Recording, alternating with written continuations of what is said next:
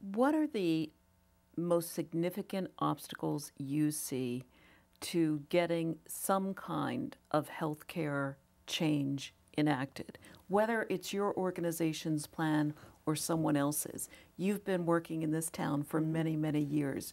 You know what the obstacle, obstacles are. In 2008, 2009, what do you see them as? I think this is a fundamental question that you've posed. And actually, the Kaiser Family Foundation has done years of polling, which I think provides some insights into this question.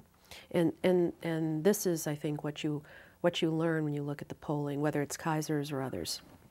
Essentially, in this country, we have the people who say they are committed to healthcare reform and getting everybody covered is a very, very high number.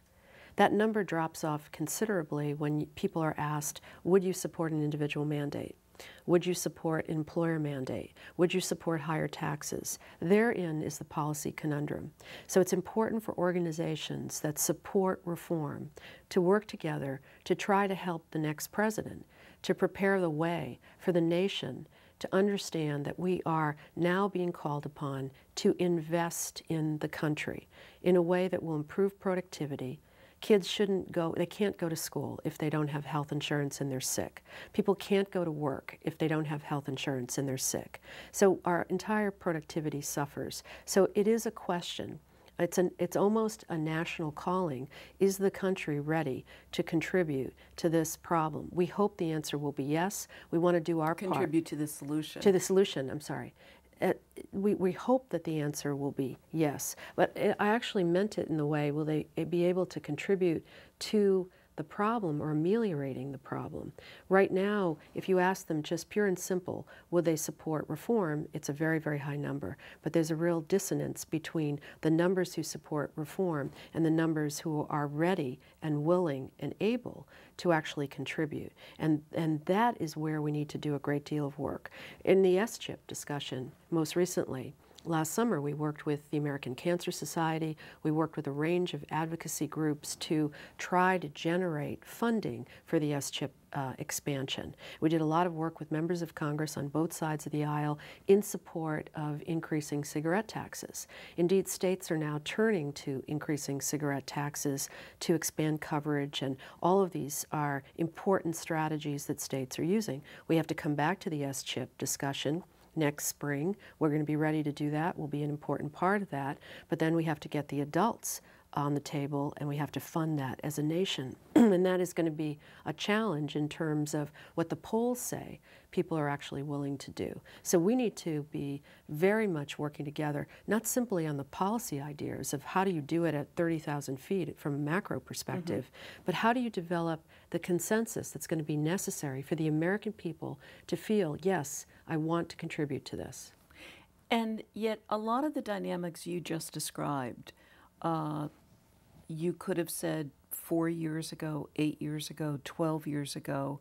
And I, the bottom line question is is this year, is next year going to be any different?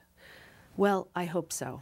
Um, and but the, the, the honest answer to your question is that no one can know. And in large measure, it depends on presidential leadership.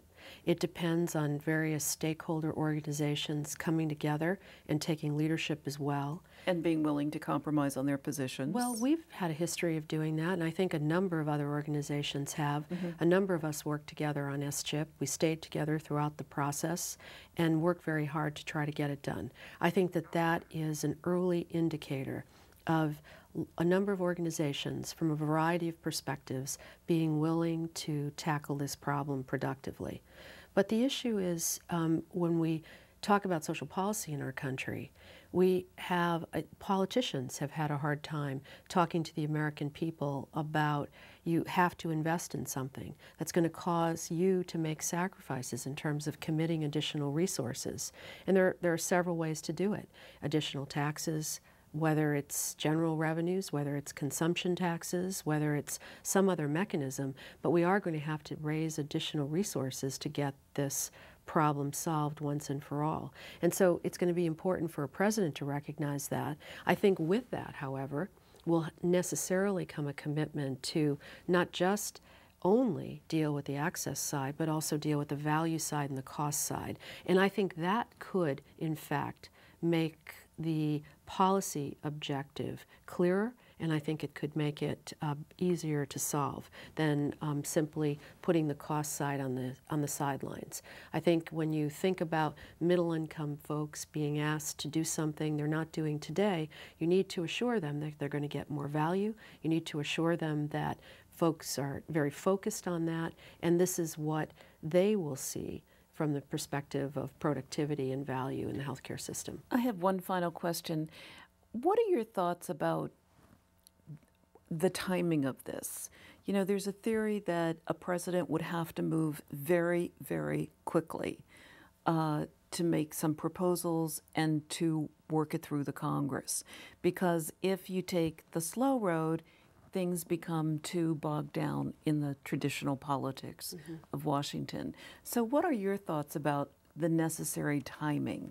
Well, everyone's read the um, the first hundred day books about FDR and you know other presidents, and I think that it is very smart to think about what as, as a new president what are the two or three major themes of a presidency and to begin to educate the public about what's going to be necessary to actually achieve that.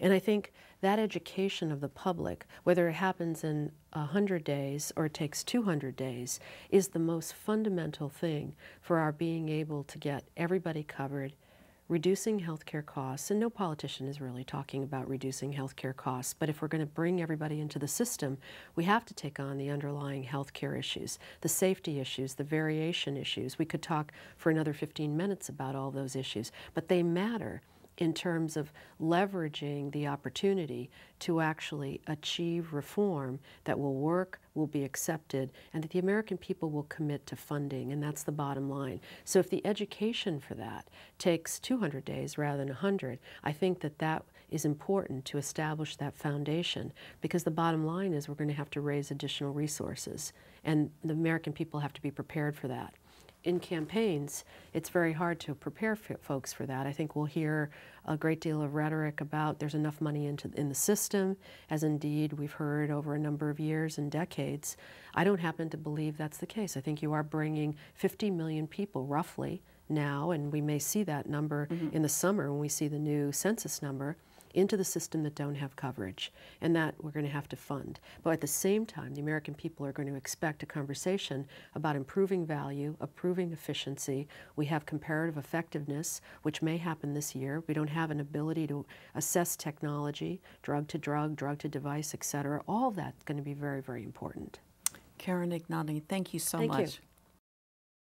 The Kaiser Family Foundation presents Health08.org, election news, analysis, and events.